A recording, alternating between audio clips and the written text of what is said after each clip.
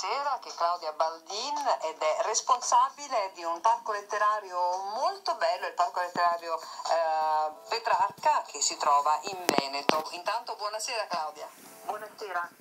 Grazie. Lei tra l'altro è anche guida turistica a Padova, Vicenza e per le ville venete, quindi luoghi meravigliosi che magari se abbiamo tempo ci racconterà un po', eh, però con lei vogliamo parlare della Fiera delle Parole, che è un appuntamento eh, che va avanti da un bel po' di tempo e che riguarda Padova in particolare, per qualche tempo poi si è trasferito anche nell'Interland, diciamo così, eh, ritorna a Padova quest'anno ma ha un punto focale con tre appuntamenti, uno è già andato lo scorso sabato, eh, che riguardano proprio il Parco Letterario Petrarca. Intanto ci racconta che cos'è la Fiera delle Parole e eh, fino a quando andrà avanti in questa nuova edizione.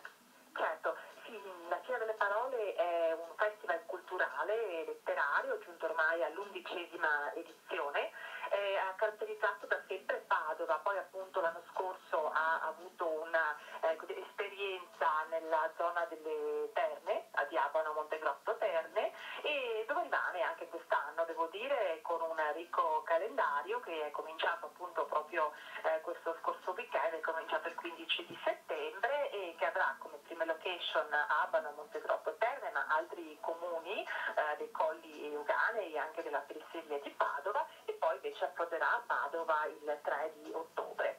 Quindi è un calendario molto ricco di appuntamenti con gli autori, ma non soltanto di letteratura, ma si parlerà anche di cinema, di musica, di arte. Mm, è un'associazione culturale ed organizzatrice, una coscia con cuore di carta in collaborazione poi con i vari, i vari comuni.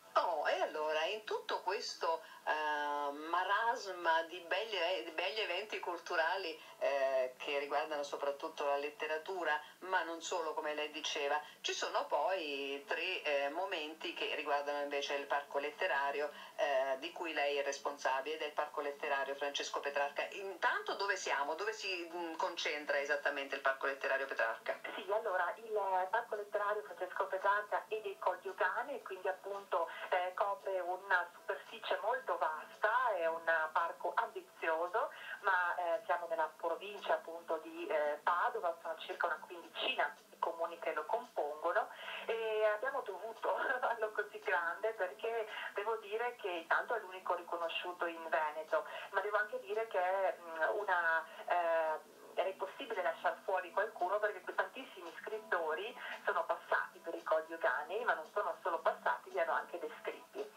potrebbe dire tutta colpa del Petrarca che qui è arrivato, qui è morto, noi abbiamo ad Acqua Petrarca la casa e la tomba di Francesco Petrarca e dopo di lui sono arrivati tantissimi scrittori, cosiddetti pellegrinaggi letterari, che proprio è stato il tema della eh, visita proprio di sabato 16 settembre. Alfieri, Byron, Shelley, Foscolo, insomma tutti a cercare de, de, de, la scia del, del sommo poeta Francesco Petrarca. Un territorio molto vasto, il parco letterario, io sono la parte così eh, operativa che gestisce un po' il parco, che è però in realtà ehm, eh, deve la sua vita alla Confesercenti di Padova, e quindi è una eh, confederazione di esercenti eh, dei servizi del turismo del commercio è un po' strana questa cosa la prima volta che la si dice perché ehm, eh, come mai magari appunto un'associazione Beh, inusuale effettivamente eh, inusuale, sì. sì. di categoria ha deciso di eh, così eh, puntare su questo perché per noi è cavallo vincente noi crediamo fortemente nella necessità di un turismo culturale eh, attento al territorio in cui ci eh, troviamo, il turismo è cambiato ovviamente dagli anni precedenti e vuole anche delle esperienze diverse.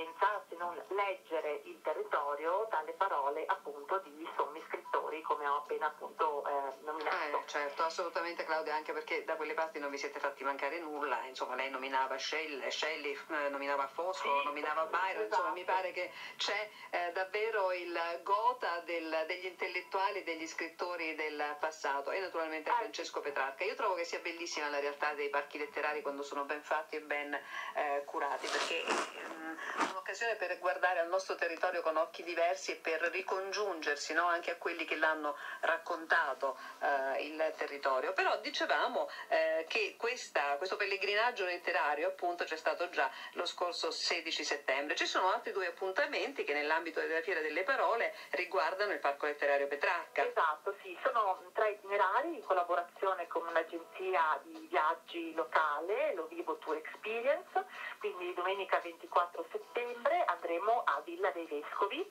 che è una bene del FAI, situato nel comune di Torreglia, ed il tema sarà un eh, racconto di Dino Buzzati, mm, è la festa in villa con il mago, tratto da cronache terrestri, in cui Buzzati parla di quella villa, la descrive, ehm, e parla anche di Alvise Cornaro, che eh, qualche secolo prima di lui aveva vissuto in questa villa, anzi aveva avuto un ruolo molto importante nella sua costruzione. Quindi sarà un dialogo tra il Rinascimento e il Novecento. Invece sabato 30 settembre, eh, sempre di pomeriggio, eh, sarà la volta di un magico giardino, giardino simbolico di Villa Barbarigo a Galtignano Terme, eh, in cui questa volta sarà un autore di un libro eh, ispirato proprio al labirinto che c'è nella, nella, nel giardino, eh, il labirinto della vita. Quindi la visita sarà proprio utilizzando questa interpretazione molto particolare di questo autore Giulio, Giulio Osto. Sono i nostri appunto appuntamenti. Eh, Claudia, quali sono gli orari di questi, eh, di questi tour, sì. diciamo? Allora, il, quello di domenica 24 settembre inizia alle ore 10.30 fino a mezzogiorno, poi seguirà una piccola matinée di musica classica e sabato 30 eh, invece sarà di pomeriggio dalle 14.30 alle 16 a seguire sempre un mattinè di musica classica all'interno del, del giardino. Molto molto interessante, quindi per scoprire la realtà uh, dei parchi letterari, di questo in particolare appunto tutto il territorio intorno ad Arqua eh, che comprende molti comuni, parliamo del parco Francesco Petrarca che è appunto diretto, coordinato da Claudia Baldin che è stata con noi. E Claudia mm, grazie davvero sarà impegnatissima allora per i prossimi fine settimana perché lei è parte eh, integrante di questo, di questo tour, lei lo cura personalmente? Sì, sì, curiamo un po' tutti i dettagli insieme poi anche poi tutte le parti ehm, eh, che lo vanno a sostenere, nel senso che ci sono poi anche attività di ristorazione, bar, enoteche, alberghi, bed and breakfast, insomma perché appunto poi ci sono persone fermano anche nel nostro territorio. Quindi io eh, devo ringraziare ovviamente, ovviamente, tutti che sono parte di questa grande squadra e soprattutto la grande famiglia dei parchi letterari, eh, quindi la Società Paesaggio Culturale Italiano e la Dalda Righieri che ovviamente sostengono eh, le nostre iniziative noi abbiamo interpellato spesso proprio per farci raccontare queste belle realtà di questo bel paese, che può essere sempre più bello naturalmente se ce ne prendiamo cura. Claudia, grazie davvero, grazie, mm, buon lavoro per i prossimi fine settimana e magari ci risentiamo quando ci sono altre cose interessanti come questa da raccontare. Molto volentieri, grazie a tutti e buon proseguimento, grazie, arrivederci.